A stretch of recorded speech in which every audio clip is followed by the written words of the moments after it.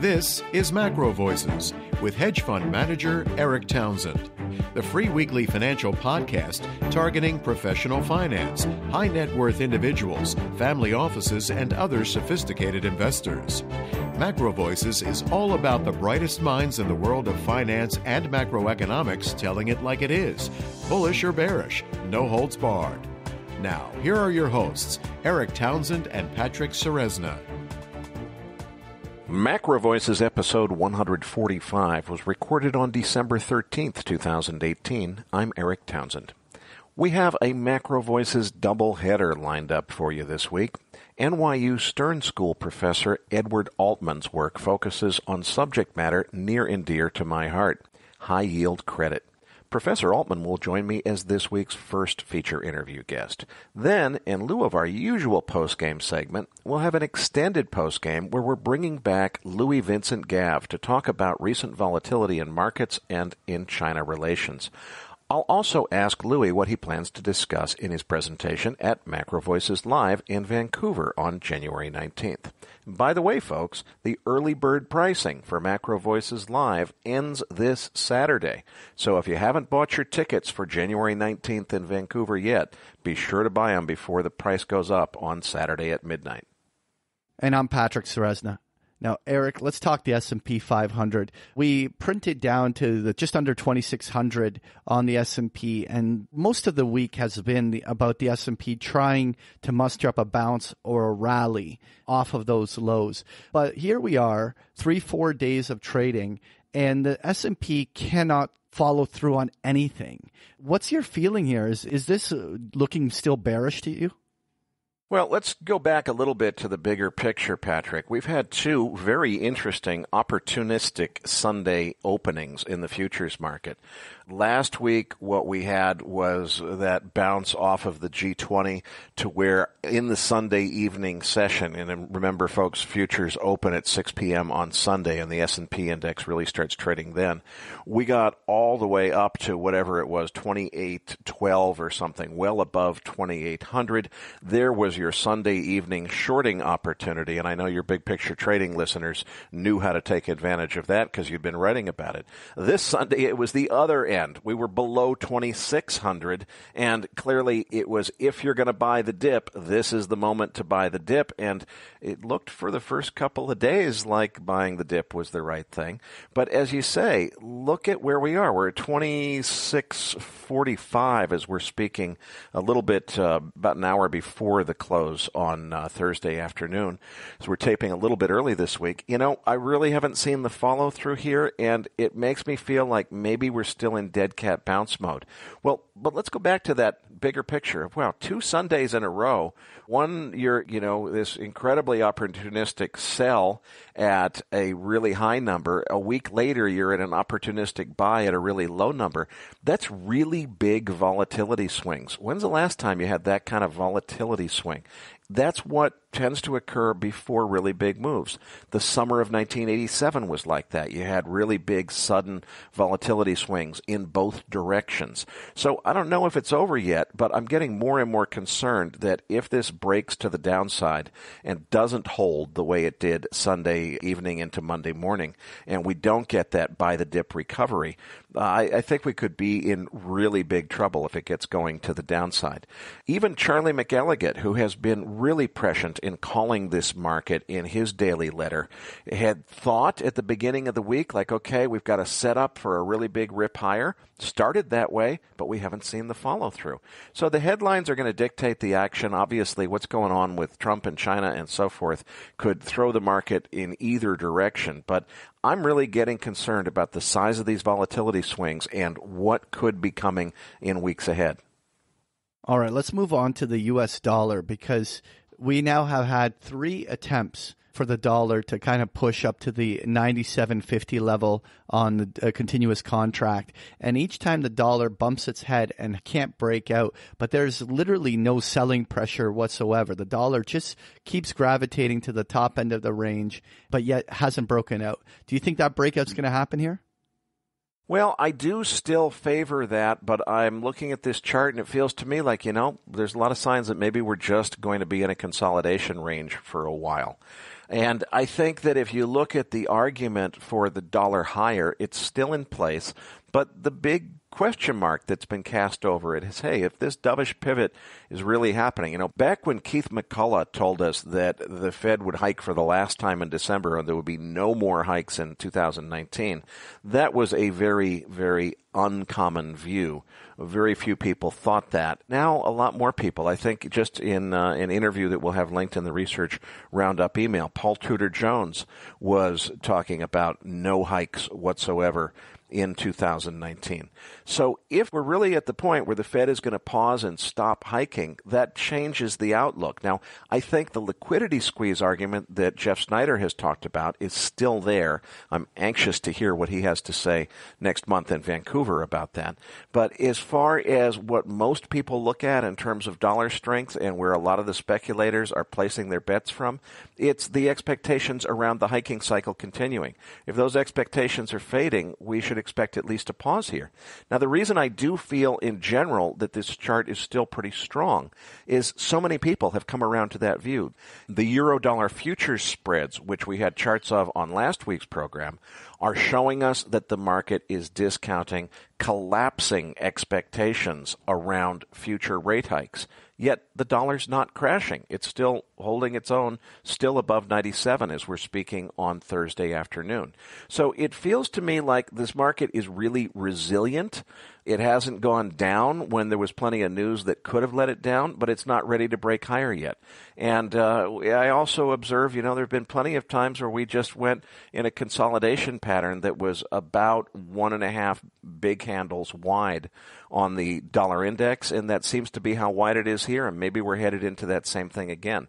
So we'll see how long it lasts. I'm still leaning toward the upside resolution to this, but I'll admit that my conviction is starting to weaken as I see more and more people really predicting that this Fed rate hiking cycle is over or about to end this month.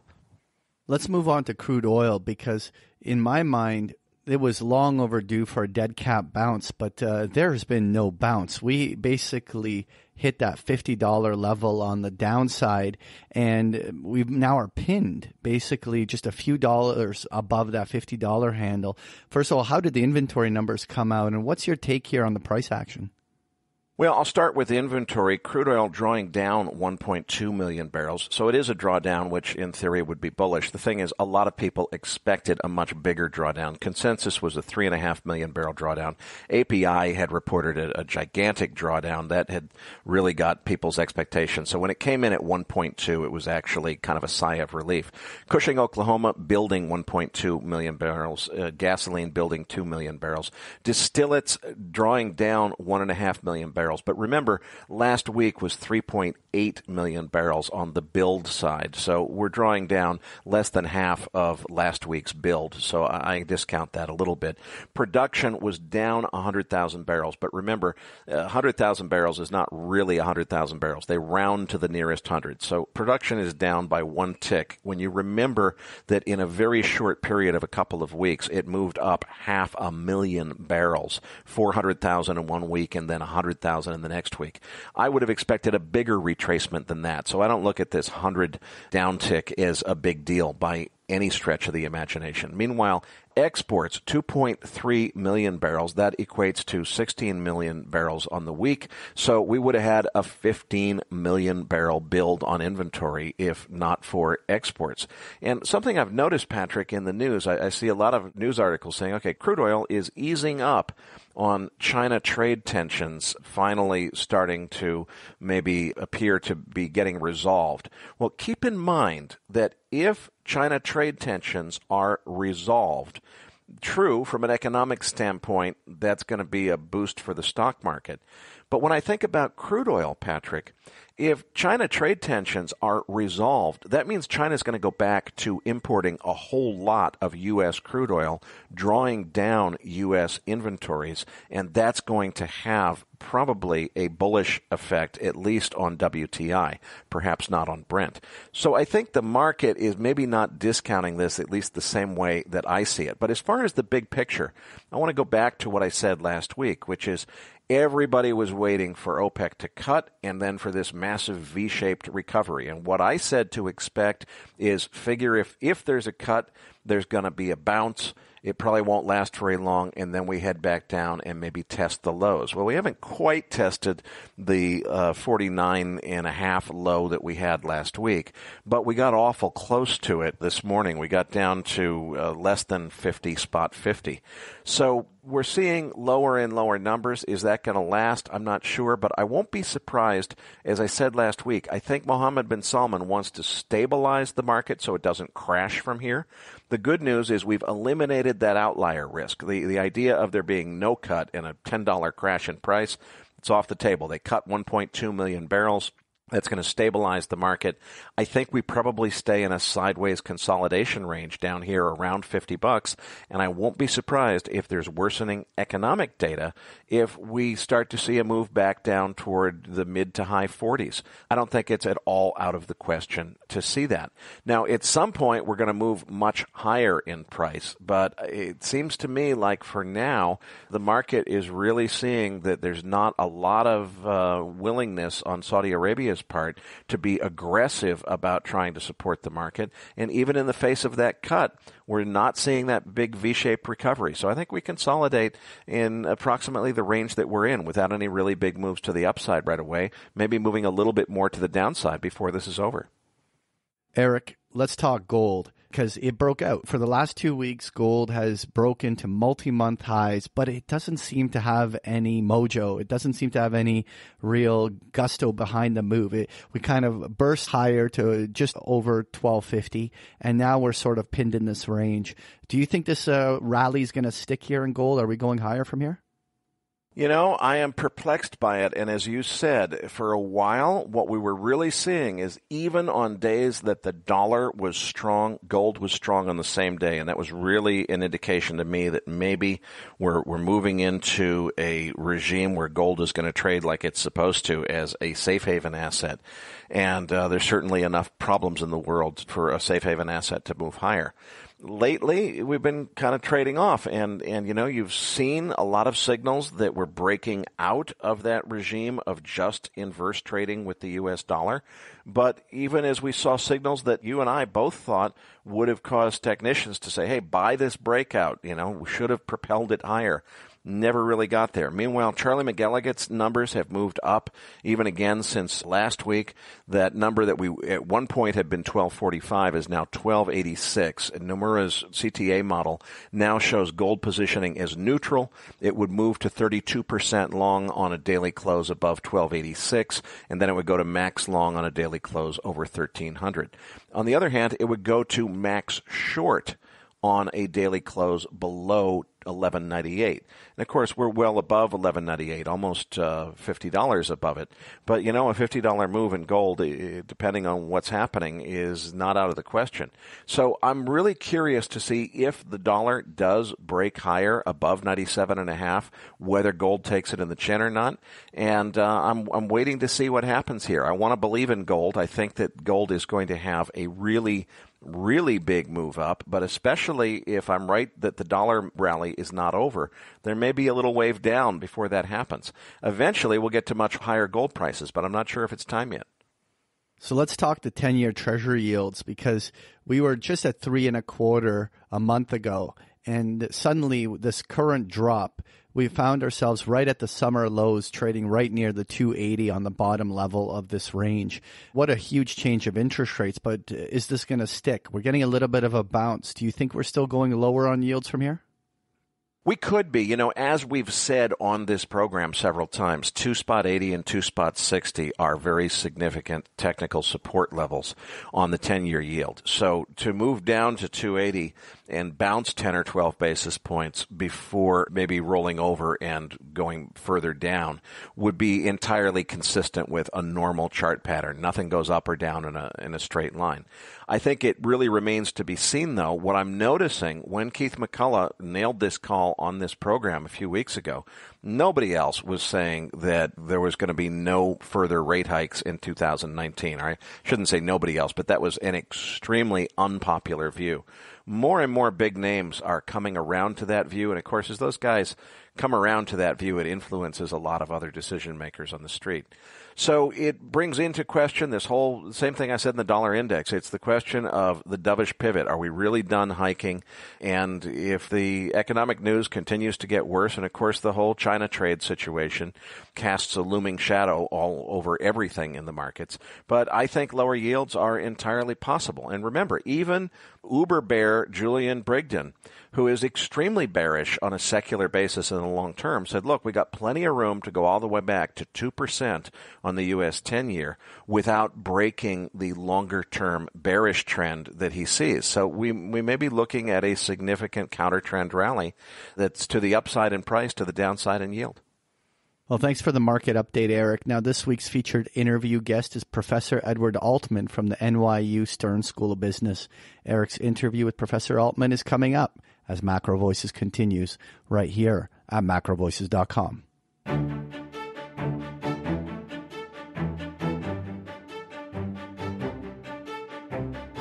And now, with this week's special guest, here's hedge fund manager Erik Townsend. Joining me next on the program is Professor Edward Altman from the NYU Stern School of Business. Dr. Altman is perhaps best known for the Z score measure of credit, which we'll discuss in this interview. Before we get started, though, Dr. Altman provided a fantastic slide deck. Listeners, you'll find the link to that slide deck in your Research Roundup email. If you're not yet registered, just go to macrovoices.com. Look for the red button next to Dr. Altman's picture that says Looking for the Downloads.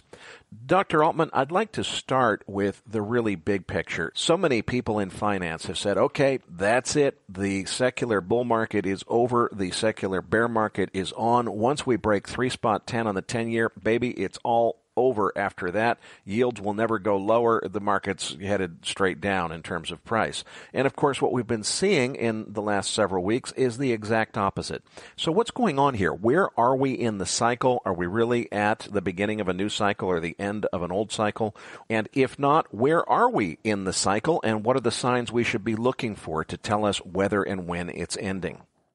Yeah, the fact of the matter is that we are not yet out of what is the longest and perhaps most impressive bull market in uh, risky debt of all types ever since the last crisis of 2009. And we are not over that yet. So it's too early to indicate that, in fact, the benign credit cycle is over. Before we even talk about whether it's over and how strong it's been and the like, I think it's very important to define what we mean by a credit cycle and what we mean by a benign cycle or a stressed or a crisis situation. And on the first slide that I have, I point to a number of important variables that I think one should look at. One is the default rate of corporate securities. Now, I've always concentrated on the high yield junk bond market, and so that's the metric I use. And historically, around 3.4% of high yield bonds on average default every year. And of course, the investor doesn't lose that because there's usually a significant recovery if there is a default. But default rates are the first metric I look at. And we are still way below the historic average. This year, finishing up very soon in 2018, the rate should be around 1.5% of default, way below the 3.4 uh, rate. So that metric shows we're still in a benign cycle. The second metric is the recovery rate. That is, if there is a default, how much do you recover on it? Historically, around 45 cents on the dollar for corporate bonds and about 65 cents on the dollar for corporate loans. This year, it'll come in at the high 50s, close to 60%. And so, again, it's an indication of a benign cycle. The third variable is the yield. You mentioned the fact that the government rate now is at 3.1, but in, for risky debt, we measure the so-called risk premium or the uh, yield spread over the government rate, and usually the 10-year rate is the benchmark. And so historically, that's around five and a quarter percent above the government rate for high yield bonds. And this year, it's uh, up, yes, in the last month or so, given the volatility and the downturn in the stock market and the bond markets. It's up to around 4.5%. So still a fair amount below the historic average, indicating we are still in a relatively low yield, low risk environment. And indeed, the government rate is no longer 3.1, but down to about 2.8%. And so we are uh, still in a benign yield situation. And finally, the last variable is liquidity. And liquidity, while definitely has diminished with the volatility of late and the concern about the future from all investors just about in the world, the liquidity is still, however, historically speaking, quite good. And even very low quality companies like Triple C bonds are able to raise money fairly easily in the market. So all four variables, defaults, recoveries, yields, and liquidity, are all saying we are in the benign cycle. And if you look at the next slide, which shows you the relationship between default rates, that's the line graph, the historical default rates, benign credit cycles, and recession periods in the U.S., the yellow bars, or if you don't have a, a colored TV, so to speak, or whatever monitor you're looking at, the yellow bars represent recession periods. And in the U.S., we're very fortunate to have many recessions. And as a result, we have good measurement the relationship between defaults and recessions. And you'll notice that in the last three recessions, which are the most relevant ones in terms of the size of leverage finance in our world, the uh, default rates tend to peak just after the recession ends, whether it be in the uh, 1991, 01, 02, or 08, 09 period. But notice also they start rising before the recession actually begins. So there's no question in my mind, and maybe this preempts a question you will ask later, that in order for us to have a true crisis situation with escalating default rates in the high yield market of above 10%, we're going to need a recession. And without that recession, we will not have a crisis situation, I am convinced. But I'm also convinced that we will have a recession. The question is when. And we can get to that in another question. So, that, in a nutshell, maybe a little bit big nutshell, is the way I look at the credit cycle. We are in a benign cycle. We are now just about nine years into it, the longest by far now since the modern economic period. It's not likely that we will leave that for at least six to 12 months. Let's talk then about where you see the biggest risks going forward, because a lot of people, myself included, have felt like, hey, everybody's focused on uh, maybe the stock market crashing someday. I think more about credit markets crashing, but I wonder where. You know, is is it is it in high yield? Is it is it in treasury? So where do you see the biggest risks? What do you see coming, and how would we know when it's time to start worrying about those things? Yeah, those are all great questions and uh, complicated ones. If you look further, and I'm going to go toward the end of the slide deck that I provided at slide number 10, I list the major risks going forward. But these are the risks that, if they occur, then a crisis is fairly uh, imminent, as opposed to perhaps some other variables that might point to when we first indicate that there is a, uh, a change in the cycle. By far, from a fundamental standpoint, the biggest risks are uh, global economic performance, primarily in the U.S., China, and to some extent Europe, and their impact on the four variables that I mentioned defaults, recoveries, credit availability, and quality of credit. What really then is important to focus on is the fundamental economic activity and performance of the major economies of the world, and that primarily is the US and China. Both now are relatively high growth situations. The US, certainly through the third quarter of this year is growing was growing at a three and a half percent, three percent maybe for the whole year. GDP growth in China has been miraculously averaging six and a half to seven percent for for as long as anybody can remember. Both of those are likely to end very soon. The question is, will they be hard landings or soft landings in terms of how much they will settle down into? So I look to a number of the um, so called macroeconomic pundits, and they're pretty much in I wouldn't say all in agreement, but a lot of them are in fairly strong agreement that the downturn in the U.S. economy is likely to happen in 2020, and it could result in a recession either then or soon thereafter. I would say certainly more than 50% of the economists that I've read or talked to. In China, I think everyone now pretty much agrees that their growth rate will not for 2018 be 6.5% or or above, and that it will fall. And the question is how much below that, and then what will happen soon thereafter. What's causing these um, fairly pessimistic scenarios? Well, in the case of the U.S., that the biggest stimulus to growth in the last uh, two quarters has clearly been the uh, tax break that the Trump administration put through, and um, that's just about finished with some residual benefits.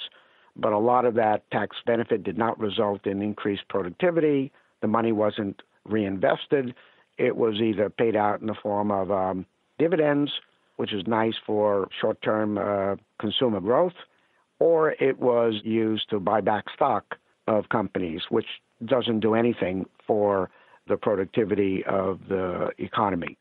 And so as a result, that influence is now almost finished. That could drop GDP a couple of percent right there. The trade wars are certainly not doing any good to the growth rate, even though some small number of uh, producers will benefit.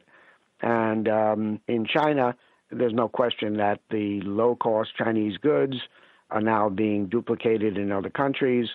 The Chinese are very worried about the huge growth in debt in their economy, and so they're putting the clamps on the debt very appropriately, by the way, and that has to be a negative on growth.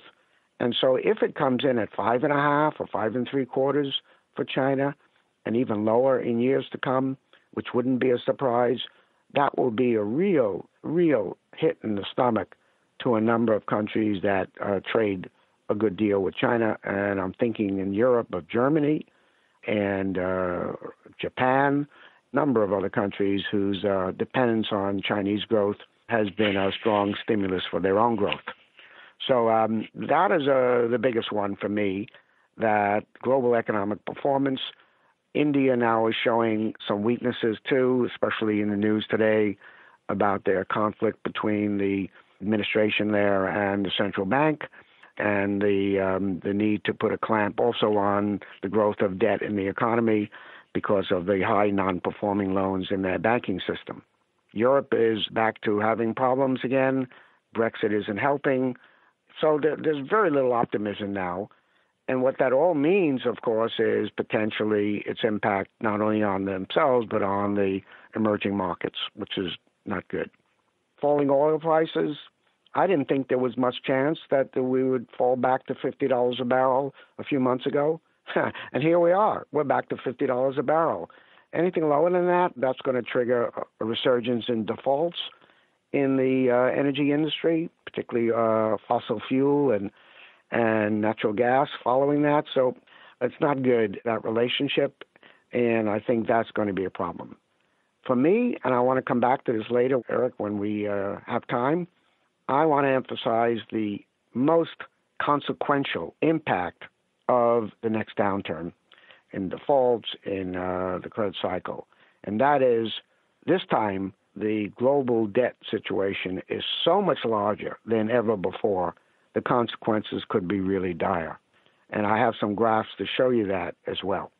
Finally, among the five bullets that I'm going to mention, and there are some others as well, I look at my Z score model and what is that telling us about the credit quality of corporate America and whether or not it's different than it was in 2007, which was just before the crisis. So, in terms of major risks going forward, I think you can look at that slide and you can probably see that there are lots of them, and some are technical, some are fundamental, and some are based on what could happen. But the outlook if we do have a downturn, is going to be pretty serious because of the incredible buildup in global debt. Here I'm emphasizing global, not just the U.S. So hopefully that covers the uh, major risk going forward. I should mention the very bottom there's always the risk of something, or in this case, the uncertainty of something that we didn't know about, we didn't think about, but happens, something geopolitical, not only a moderate, but a huge trade war, protectionism, etc. Something that's hard to put a probability on, but when it happens, it usually turns things very quickly. And the one variable of my list of credit cycle indicators that changes the fastest, and one that uh, you'll know it very quickly when it happens, is liquidity. That can literally dry up when somebody turns off the faucet, and you know that doesn't take very much time. We can pursue any one of those if you'd like, but I do want to get back to the global debt excess and combining that with uh, interest rates. I definitely want to come back to that one because it's near and dear to my heart. But before we go there, let's just spend a quick minute on your Z score model. A lot of our listeners are already familiar with it, but for those who are not, give us just the very quick overview. What is Z score? What does it tell you? Well, it's a model I built 50 years ago, and uh, I'm as surprised as anyone that it's still around and, and not only around, but it's still actually used more than ever before. It's a model that looks at the basic performance attributes of companies from their financial data, balance sheets, income statements, cash flows, and the like. Looks at five financial indicators. Some of them are were new at the time, but none of them are exceedingly uh, unusual. Looking at liquidity aspects, profitability, solvency, leverage, and activity. Those are the five measures. Each one represented in a financial ratio from the most recent balance sheet or income statement of a company. And then, based on the statistical programs that I've run back when I was a graduate student at UCLA, and you're very flattering to say that it was when I was a young man. Yes, I was seven years old then, and uh, but seriously, I wasn't that old. I was old enough to know that I needed some support from mainframe computers, which just started then, and from statistical programs, which were now available on mainframes, to use those algorithms to come up with a weighting system of those five variables. The technique is a statistical discriminant analysis technique, which gives the weightings, and those weightings are determined by the computer program, not by me, to achieve the highest accuracy in predicting bankruptcy within two years. And those five variables weighted appropriately have been for 50 years now. Three reasons why they're still around. First, it's really simple. You don't have to be a statistical guru or a uh, math genius to understand it and to uh, interpret it. Second, it's been pretty accurate. I'd say 80 to 90 percent accuracy within two years of the bankruptcy to predict it accurately. And three, it's free you don't have to pay for it. Acting with uh, a large number of studies that use it as a benchmark, in other words, it's easy to replicate and compare with new models, has really jettisoned it into prominence not only among you know individuals and uh, banks and the like, but also to be used for a large variety of purposes. And it's the standard measure, prototype, if you will, for banks and other regulated institutions to use in estimating their probability of default and loss given default of their counterparties, which is critical for their capital allocations under the Basel regulatory framework.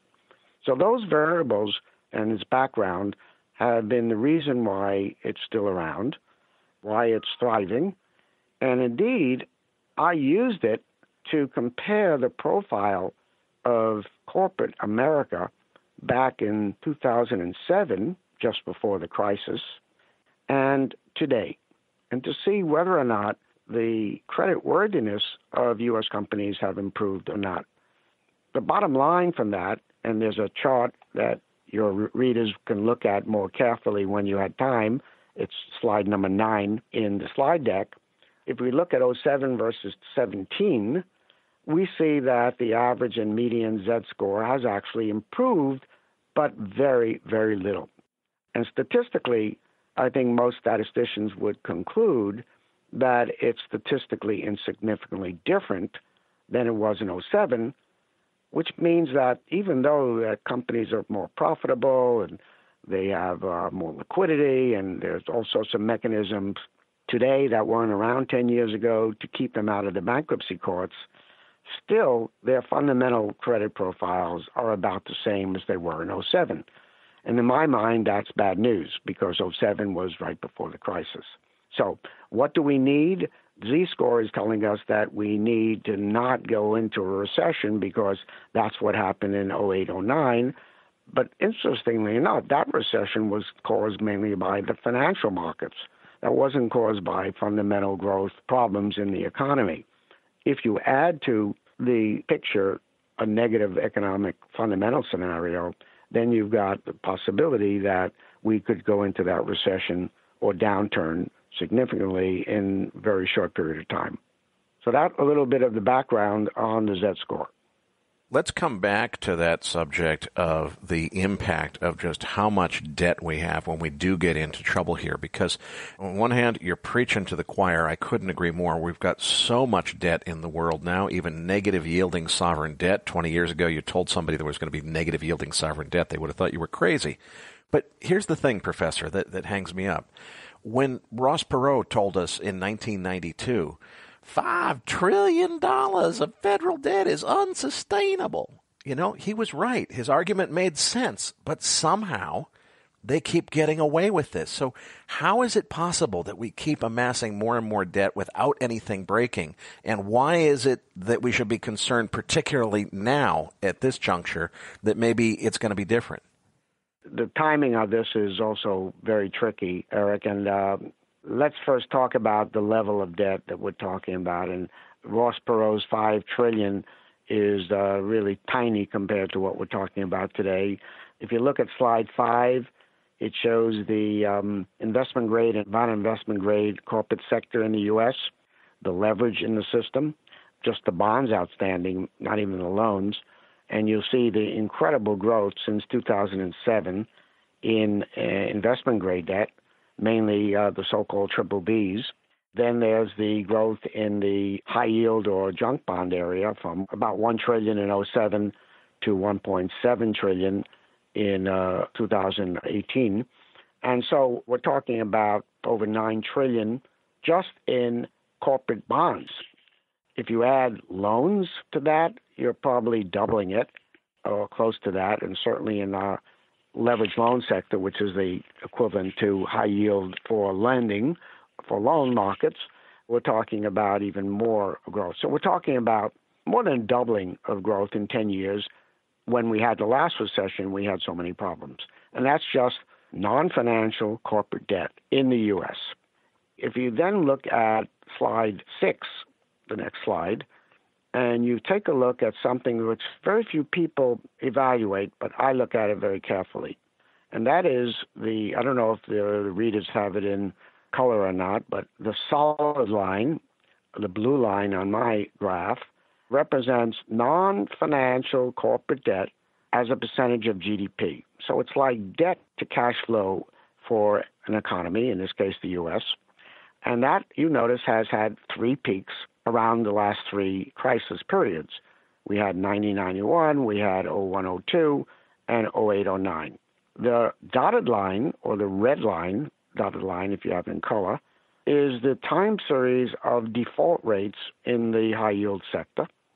And that has had three peaks within 12 months of the peak of the debt level in the last three recession cycles. So is it just by chance that default rates peak after a peak in debt? Well, I don't think it's by chance at all. It shows the relationship between the growth in debt and the growth in defaults, combined with the catalyst being the economic cycle.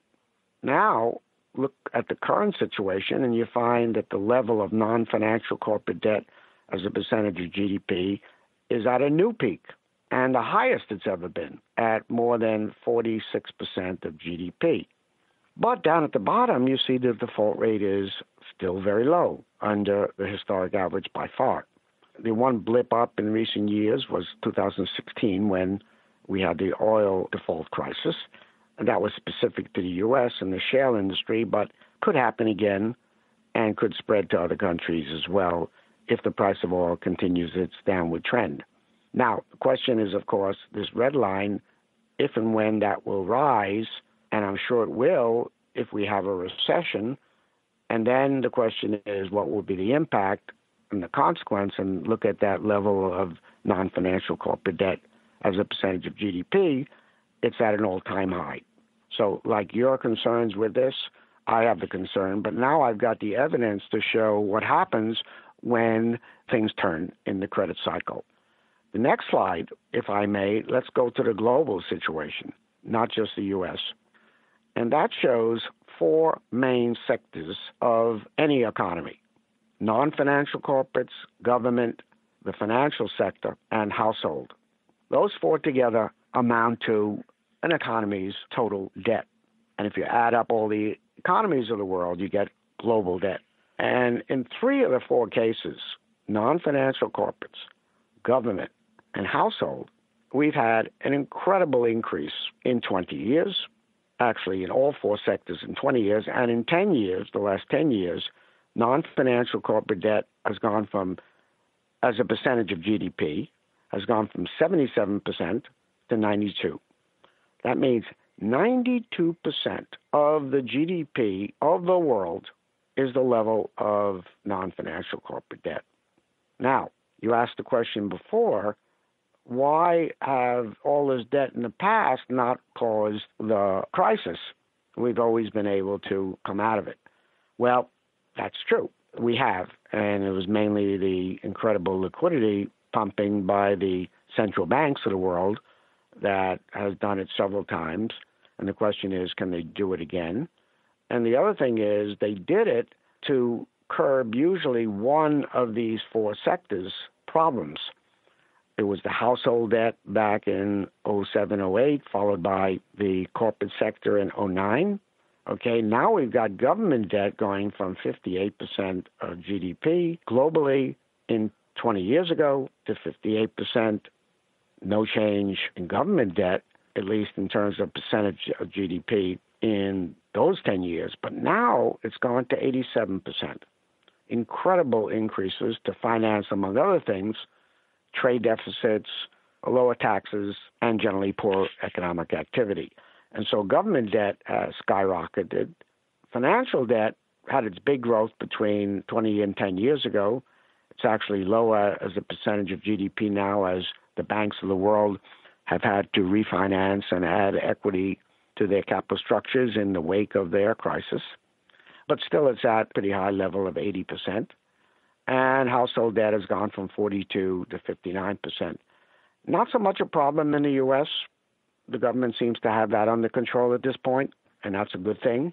But in many other countries, it's the number one problem that the central banks point to.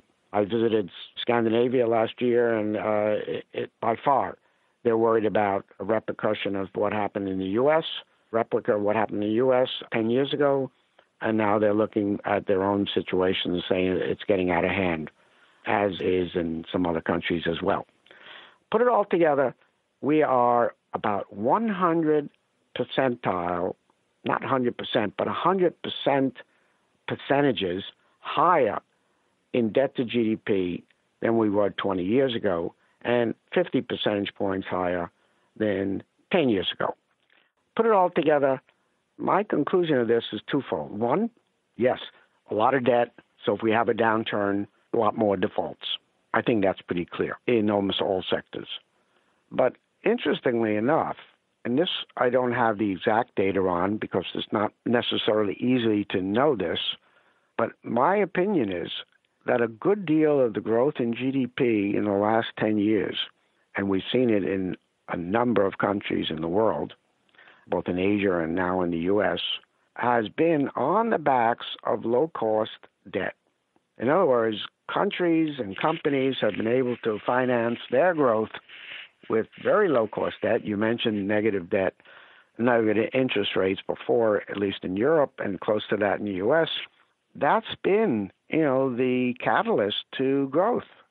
And now, with that growth in debt likely to go away because of the fear of the debt buildup being too high in countries like China and other countries, including the U.S. probably, there won't be that low cost debt, especially if interest rates rise. But even if they stay the same, with the government's clamping down on the growth of debt in the fear that this could be, you know, the biggest problem if we have a downturn again.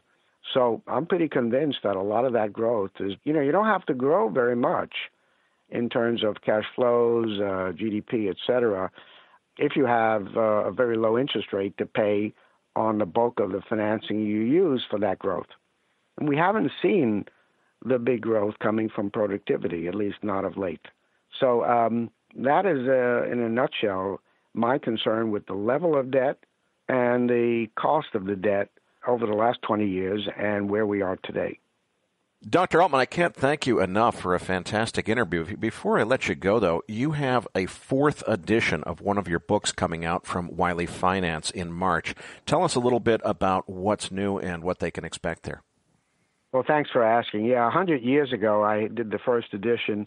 Just kidding, but it, it is a long time ago of Corporate Financial Distress and Bankruptcy, uh, a John Wiley publication. And uh, every 10, 15 years, I decide it's time to uh, redo it and come out with a new edition. And with two great colleagues, Edith Hotchkiss and Wei Wang, we are now just finished and put to bed the fourth edition. Should be out in March 2019 of now it's a somewhat expanded title Corporate Financial Distress, Restructurings, and Bankruptcies. It really brings up to date a large amount of data, information, theory, etc., that has come on the scene ever since the third edition, which was in 2006. So, looking forward to that, and hopefully, some of your readers will be interested in uh, looking at it as well. All right. Well, thanks so much. We really appreciate an excellent interview. Patrick Ceresna and I will be back as Macro Voices continues right here at macrovoices.com.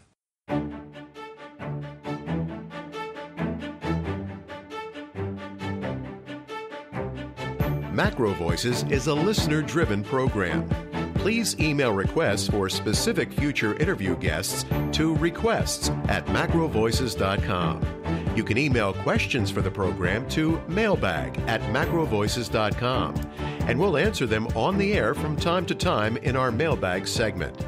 We also welcome your suggestions for how we can improve the program. Now, back to your hosts, Erik Townsend and Patrick Ceresna.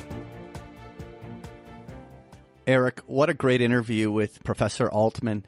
It was so interesting to get his insights in terms of where we are in that cycle. Now, joining us here in the post game is Louis Vincent Gave. How you doing, Louis? Very well, thank you. How are you?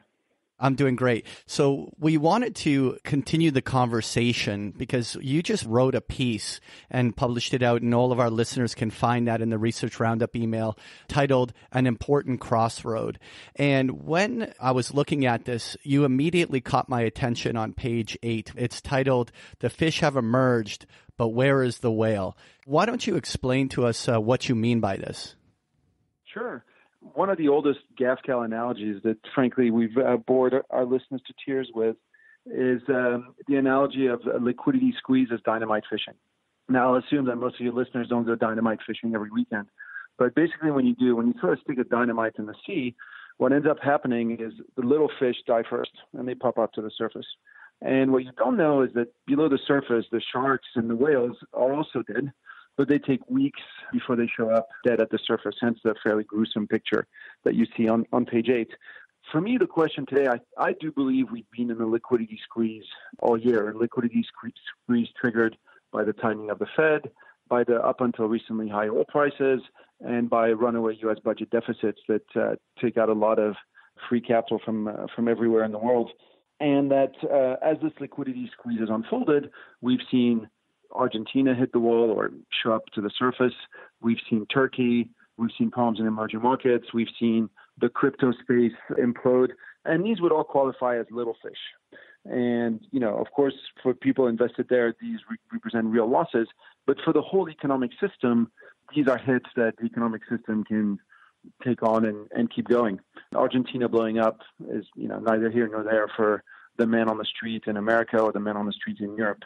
The question, of course, is will a whale show up? And the whale, you know it's a whale when it basically triggers a change in policy, change in policy from the Fed, or a change in fiscal policy, or a change in regulatory policies. And you know, to stay with the analogy, if you go back to 2008, you might have thought Bear Stearns was the whale in 2008.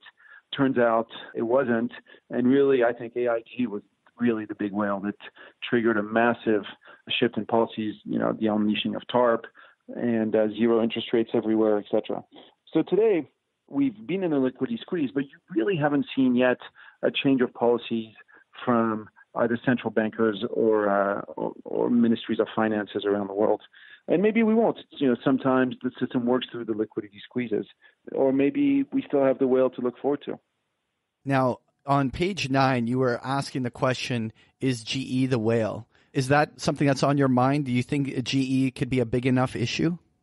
Oh, it, GE would definitely be a big enough issue. I mean, look, first, it's an important cog in the U.S. economy. It employs a lot of people. It's got a massive pension fund. It's hard to imagine the Fed raising interest rates should General Electric face uh, face bankruptcy. So that that would be one potential whale. But perhaps the biggest reason it would be a whale is actually on, on page 10. Because GE uh, is, of course, one downgrade away from uh, from being a, a junk bond. And the big issue, of course, is if GE gets downgraded, then that means that the U.S. junk bond market basically grows by 10% overnight, given the amount of outstanding debt that GE has.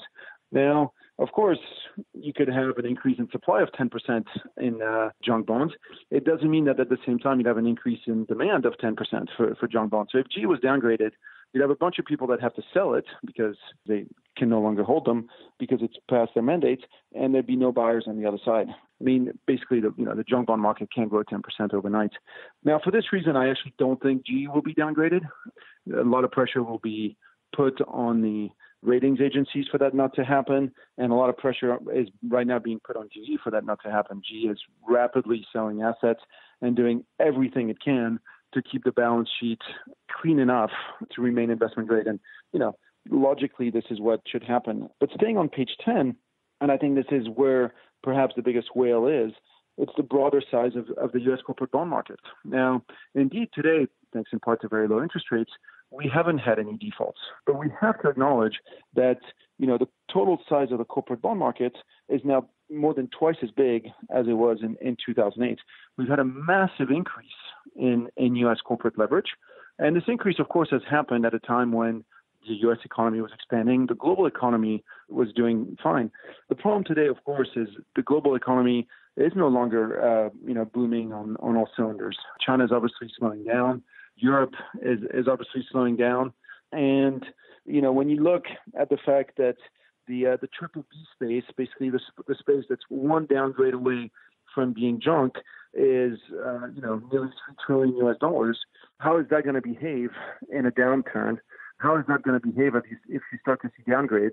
Well, that part cannot be absorbed by the size of the junk bond market. So you have a potential massive dislocation here between the potential size of the junk bond market, if you project yourself to the size of what it's going to be in a downturn, and the overall demand for junk bonds. Well, that's interesting because when I look at this chart, back in 2008, the total size of the junk bond market and plus the triple B rated bonds was just about a trillion dollars. Now, just guesstimating here, but we got about a trillion dollar junk bond market and a further $3 trillion of triple B rated bonds.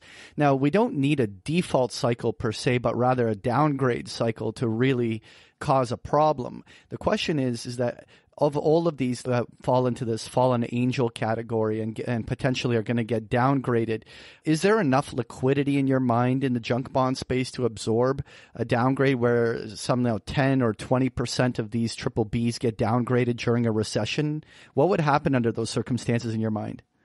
Well, spreads will completely blow out. Look, what you're talking about, you know, if we start a downgrade cycle, the question is, can the junk bond market grow from a trillion to two trillion in a relatively short period of time. Who will be buying that additional trillion of, of junk bonds? It's not obvious to me who, who will be buying that at all. Of course, in a downgrade cycle, people are more inclined to sell than to buy junk bonds.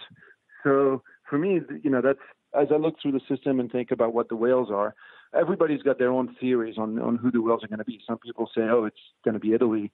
Uh, of course, you could now say with everything that's been unfolding, no, no, it's going to be France. A lot of people in the U.S. tend to believe it's going to be China. My big fear is is this: it's the triple B space in, in the United States that has basically grown from roughly half a trillion in 2008 to three trillion today, uh, without going through a, a downgrade cycle. Now, you could easily make the point and say, well, look, because it's so big, U.S. policymakers can't afford the downgrade. They can't afford for this, you know, potential doubling of the size in the junk bond market. So, you know, if and when we start getting an inclination of that, the Fed will act very actively and, and preemptively to uh, to make sure that you know the show stays on the road. Perhaps even do what uh, we've seen in Europe, which is start buying corporate bonds itself.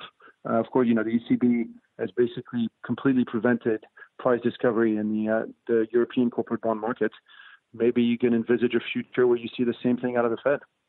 Louis, I want to pick up on the direction you're going there because as we look at this massive gray wedge on page 10, $3 trillion of triple B debt, a lot of people have eyed that. We've talked about it on this program. A lot of people have written about it elsewhere.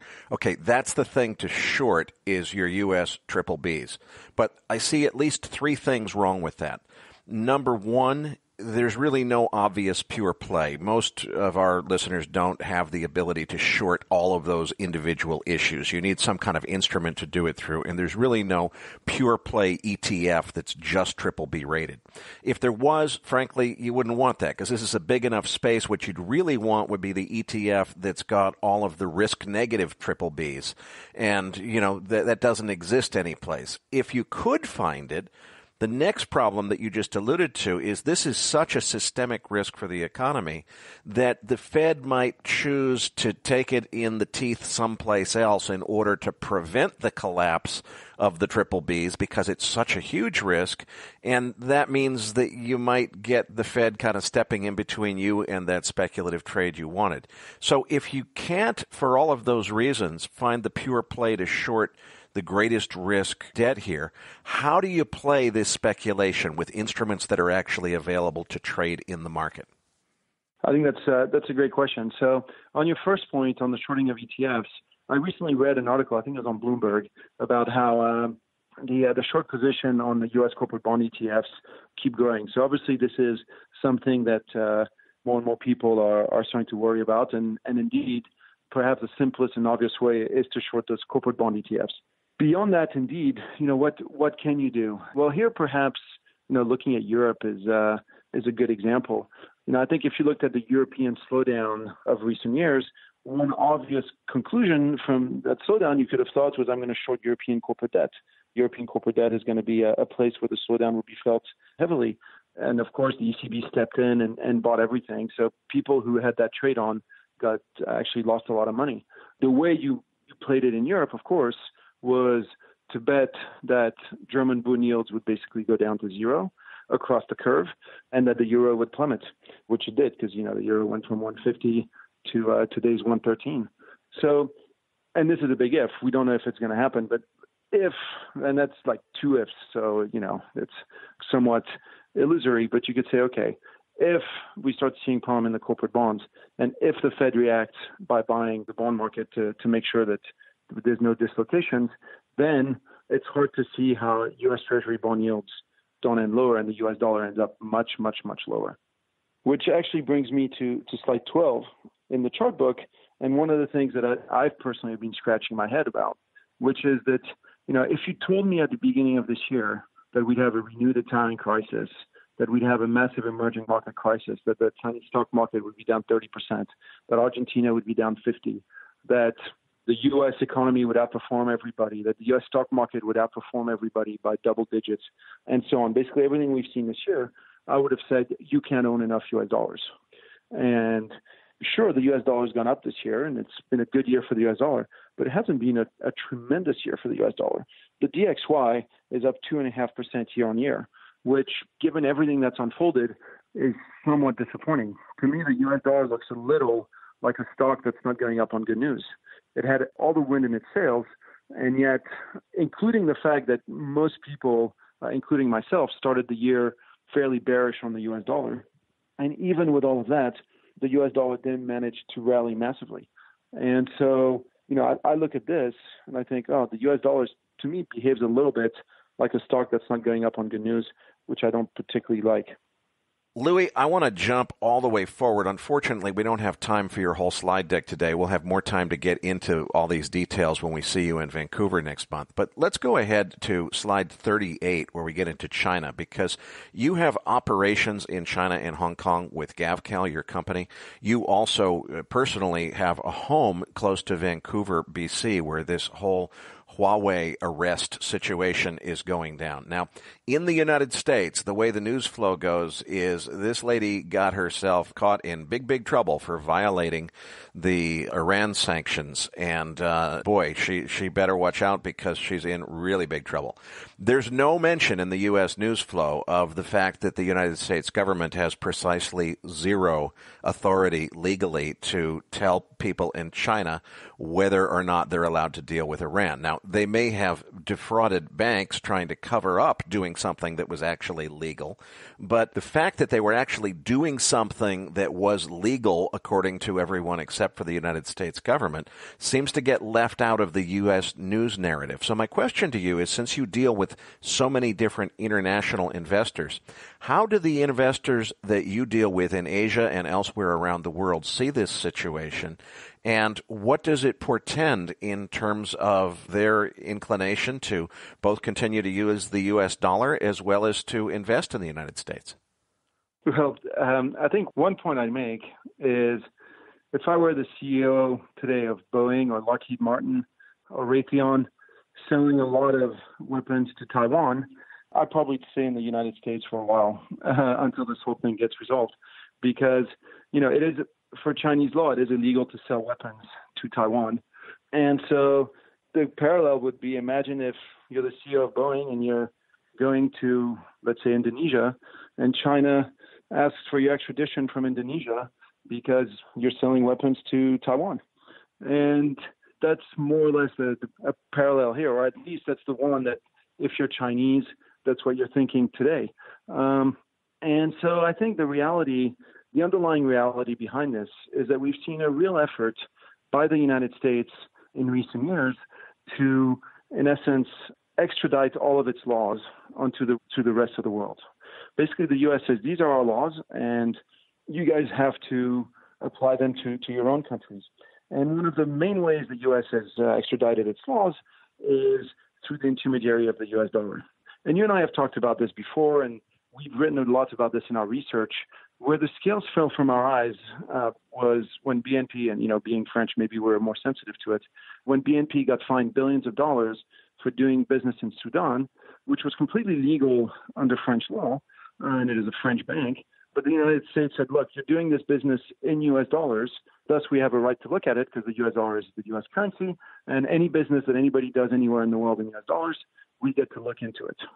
And I think that was a, a sort of change of policies from the U.S. because for years people were doing business in U.S. dollars all over the world, and it, nobody thought that this meant the U.S. Treasury could say, "Hey, what's going on here?"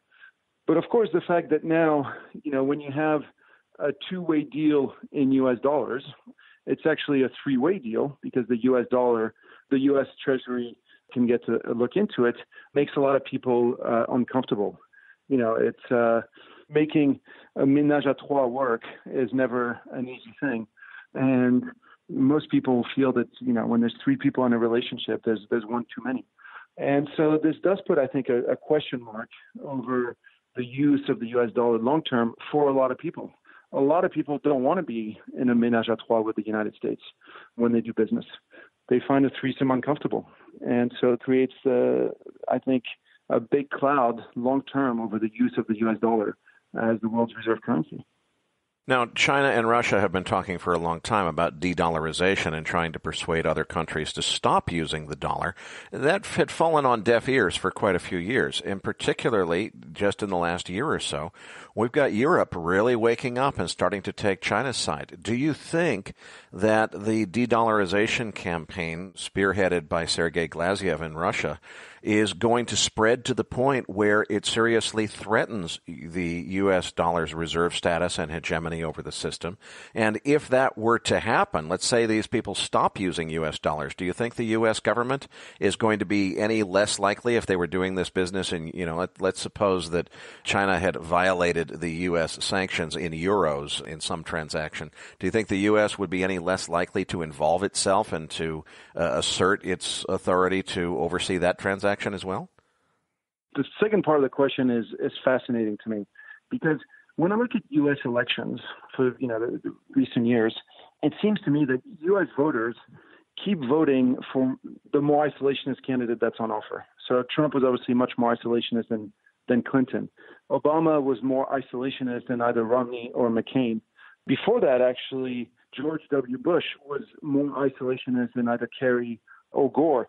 The U.S. electorate keeps picking whoever is basically saying, look, let's bring America to our own borders. Let's stop being an empire. Being an empire is too expensive, etc. And each time they vote for the more isolationist, uh, each time they get more global intervention. And so it seems that you know the U.S. population doesn't want the empire, but they get it anyway, and they they get it pretty much come what may. And so I don't really have any hope that Washington D.C. will turn around and say, you know what, let's stop weaponizing the U.S. dollar to do our foreign policy goals. I think it's actually going completely the other way. And the more the U.S. does it, the more people are inclined to look to look for alternatives. Now, by any measure, the renminbi is a poor alternative. You know, nobody likes the Chinese regime. China doesn't really have friends around the world. It might have a few clients. Uh, it might have people that it's bought, but you know, China doesn't have friends like like the U.S. historically has had friends. But of course, the more you weaponize the U.S. dollar, the more you lose your friends. And I think that's that's the challenge today. Of course, is you know I can sit here and say, look, the U.S. dollar has all these problems, and you and I can can agree on this all day. And then you look elsewhere and you find lots of problems as well. And I think all this, at the end of the day, adds uh, uncertainty and volatility to the investment environment. My own belief is that China increasingly is becoming more and more successful at transforming the renminbi into a trade currency and into Asia's reserve currency, and then basically telling all of its neighbors, look, let's use the renminbi as our sort of regional currency and shelter ourselves from the volatility that comes from using the US dollar and increasingly the political interference that comes from using the US dollar. Louis, unfortunately, we don't have time for all of your slides today, but let's jump ahead to page 45 because as we talk about the renminbi, China's currency, the, old story that we've heard from so many people in finance is look, that, that is the weakest currency on the planet. The thing's going to crash. You better look out. The sky is falling. As you show on this chart, that's not the way it's been playing out. So why is it that so many smart people, Kyle Bass and, and so many others, thought, okay, the yuan is going to crash here? It didn't. Why didn't it? And is it going to? And and if not, why is it still looking like a good currency? Look, I've liked the renminbi for the past ten years because I think the Chinese leadership tends to say what it does and does what it says. And you know, for the past ten years, the speech has been, look, we want to move our trade from being US dollar denominated to being renminbi denominated. We want to internationalize the currency. That's why we're opening the bond market to foreigners. That's why we're opening uh, our currency to foreigners. And of course, if you want to be a reserve currency and a trade currency, you can't be a weak currency. Nobody wants to save in Greek drachmas. Nobody keeps their company's working capital in Italian liras. You know, people save in Deutschmarks. People save in Swiss francs because those are strong and stable currencies. And if China's goal was really to become the Deutschmark of Asia, then it had to be a strong currency, and it has been. Uh, indeed, the chart on page 45 highlights that the compounded returns of keeping cash in renminbi has beaten the pants out of pretty much any other major currency out there, whether the euro, the pound, the yen. Compounding has been better in renminbi than, than in, in any other currency. So indeed, if you are keeping your working capital, you know, if you're an Indonesian company, keeping some working capital in renminbi was a much more profitable decision than keeping it in, in other currencies. And I think perhaps that's the the part that uh, foreigners have missed is that when they look at China, they look at the picture of where it is today, and they see you know the excess debt, the the real estate uh, expansion, the the bad banks, etc. All the negative picture. They see what China is today, I think they they fail to see what China is going to be in five or ten years time, and The reality today, of course, is that nobody out there owns the renminbi apart from China and apart from Chinese people. Nobody, you know, for all the talk about the Chinese debt, no foreigners own Chinese debt, or not in any meaningful sense. Thus, if China is mildly successful in internationalizing the renminbi, that means that all the foreigners have to start buying.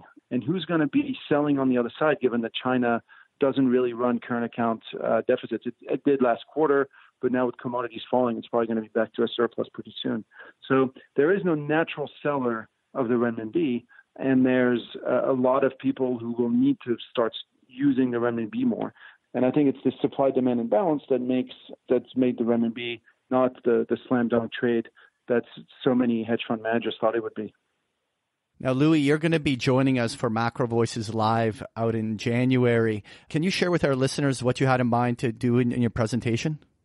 Well, you know, former British Prime Minister Callaghan once said, uh, "A week is an eternity in politics." I, I think it's an eternity in mar- a week, let alone a month, is an eternity in markets. So who knows what the world would look like in a month's time. Having said that, I think what I'd like to talk about is the growing, the changing world that we live in, and the the outlook for the U.S. dollar in this growing, changing world. Because the simple reality is, the coming year will most likely be driven by what happens to the dollar. If if the dollar goes down, you probably can't own enough emerging markets, given how cheap they are today. If the U.S. dollar goes up another leg, the question will be, will it impact U.S. growth? And if the U.S. dollar goes up another leg, what impact for financial markets? I tend to believe the U.S. markets will go down next year. I'll explain why, and I'll explain the consequences for uh, for asset allocation. Louis, I can't thank you enough for a fantastic interview. I just want to encourage our listeners. We didn't have time for the whole slide deck, but you should make time. Definitely, you're going to want to download this deck. Louis, I notice at the end of the deck, your email address is there. Is it okay for our listeners to contact you there? Oh, absolutely. If uh, I'm always looking forward to questions. Uh, of course, that, that's how we learn. I personally always say that uh, 90% of the ideas we get are from our, our clients the other ten percent that I get do myself are usually the stupid ones.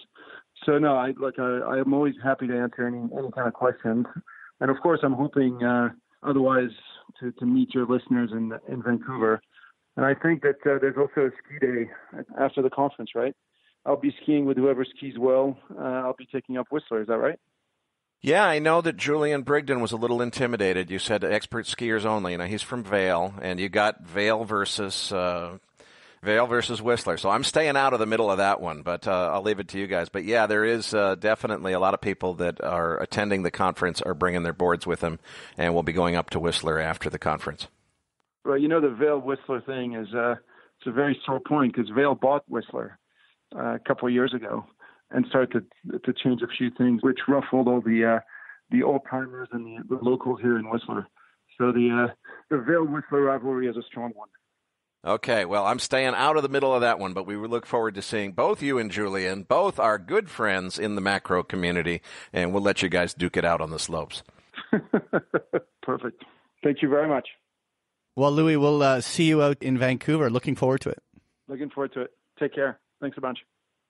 Folks, you've heard it before, but you'll hear it again. We need your help promoting Macro Voices. We also really appreciate your donations this holiday season.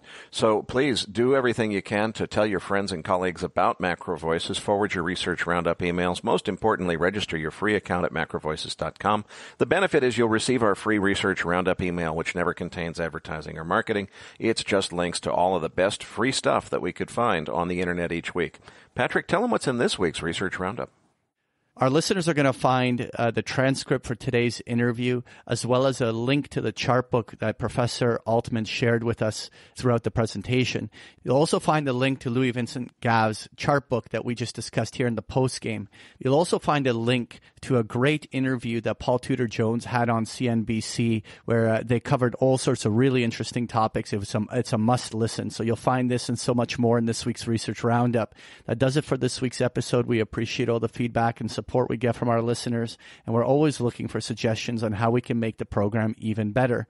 Now, for those of our listeners that write or blog about the markets and would like to share that content with our listeners, send us an email at researchroundup at macrovoices.com or tag it with the MVRR hashtag on Twitter, and we'll include it in our weekly distributions. If you have not already, follow our main Twitter account at Macro Voices for all the most recent updates and releases. You can also follow Erik on Twitter at Erik S. Townsend and myself at Patrick Ceresna. On behalf of Erik Townsend and myself, thank you for listening, and we'll see you all next week.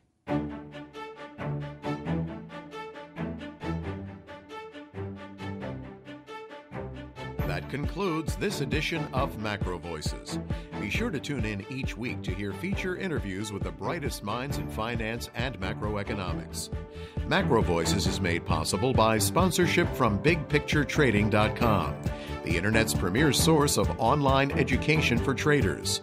Please visit BigPictureTrading.com for more information. Please register your free account at MacroVoices.com. Once registered, you'll receive our free weekly Research Roundup email containing links to supporting documents from our featured guests and the very best free financial content our volunteer research team could find on the internet each week. You'll also gain access to our free listener discussion forums and research library. And the more registered users we have, the more we'll be able to recruit high profile feature interview guests for future programs. So please register your free account today at macrovoices.com if you haven't already. You can subscribe to Macro Voices on iTunes to have Macro Voices automatically delivered to your mobile device each week free of charge. You can email questions for the program to mailbag at macrovoices.com, and we'll answer your questions on the air from time to time in our mailbag segment.